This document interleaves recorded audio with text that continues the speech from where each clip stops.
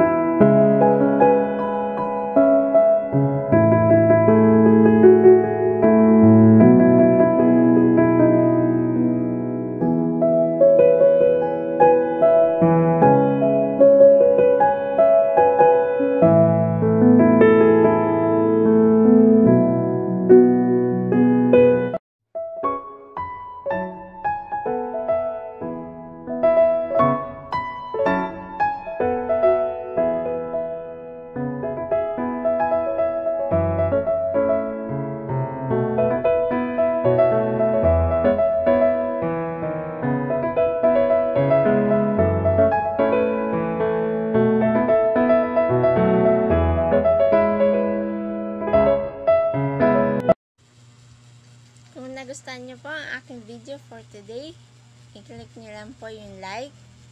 At kung meron naman po kayong comment or suggestion, i-comment nyo lang po yan sa comment section. At wag nyo na rin po kalimutan na subscribe ako. At pakipindot na rin po yung bell button. Para lagi kayong updated sa mga bago kong video. Thank you! Jaja Hairstyle Tutorials would like to thank the following.